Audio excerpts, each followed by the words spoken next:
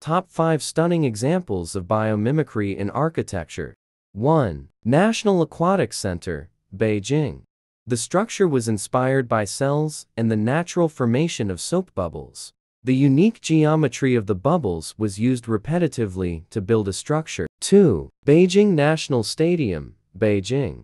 Popularly known as the Bird's Nest, was designed by Swiss architects Herzog and de Meuron. As the name implies, the structure rises from its surroundings like an upturned nest. 3. Esplanade Theatre, Singapore. Inspired by the hard thorn skin of the durian fruit that protects its seed. The theater, designed by DP Architects and Michael Wilford. 4. Eden Project, England. The huge semicircular modules were inspired by the shape of soap bubbles.